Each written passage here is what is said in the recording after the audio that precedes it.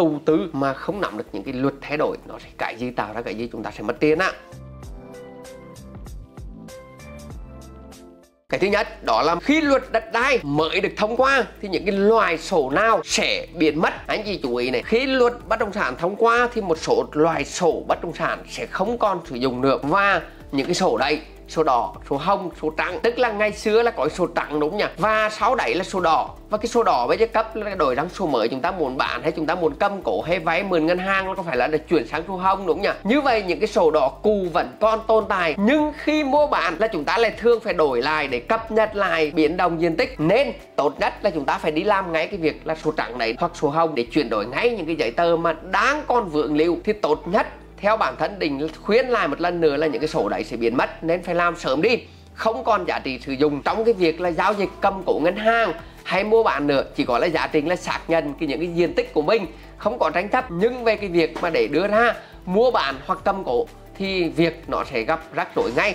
Cái việc thứ hai đó là cái việc sổ thứ nhất, đó là sổ trắng. Sổ thứ hai, đó là sổ đỏ. Cái sổ thứ ba, đó là cái sổ hồ. Sắp tới luật mới đất đai. Những cái sổ hồ là sổ sổ gọi là có cái từ hồ ấy, mà gọi là cái điểm mà chết người nhất của nhiều anh chị chúng ta. Cái sổ đấy là sổ nguy hiểm nhất ấy. thì sau này nó mang đến những cái sự rắc rối, tranh chấp nhiều nhất là sổ mới đấy. Sau này sau luật mới đất đai là không áp dụng nữa. Và cũng cho những cái anh chị gia đình nào đang cầm ngay cái cuốn sổ hồ đấy đi ra đổi ngay cái sổ mới. Vậy thì đổi như thế nào?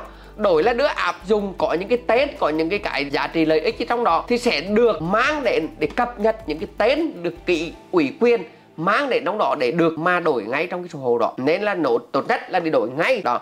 Cái thứ ba, đấy là cái sổ mà ghi những cây cối ở trên cái đất thì cũng không còn sử dụng nữa. Cái sổ mà có ghi trên đấy là cái đất này à, là có cây này có diện tích thì sau này là không số mới không được cấp như vậy nữa. Mà sổ cũ thì anh chị đang là sổ hồng đấy thì nên ghi vào ghi vào trong cái việc là có những cây cối là nên làm sớm cái việc đấy. Và cái sổ cũ đấy ra sẽ bán biến mất mà chỉ còn lại là cái tài sản và công trình xây dựng trên đất. Thì đó là những cái quy định mới luật đất đai mới thì những cái sổ nào còn sổ nào không thì đấy là định chia sẻ lại cho anh chị. Sau đó là năm cái loài nhé định xin nhắc lại, đấy là số trắng thì ít anh chị ở chúng ta ở đây ít biết. Số thứ hai, đó là số xanh. Cái số thứ ba, số xanh là số rừng. Cái số thứ ba, đó là cái số hồng, số đỏ. Thì số hồng thì vẫn còn tồn tại, nhưng khi mới đã cấp thì sau này sẽ ghi khác đi, ngắn gọn hơn. Số đỏ thì sau này cũng không cấp nữa. Và cái sổ hồ có cái từ hồ mặc dù là sổ hồng, trước đấy nhưng có khi từ hồ thì cũng không cấp nữa. Thì đó là những cái sổ sẽ bỏ trong tương lai.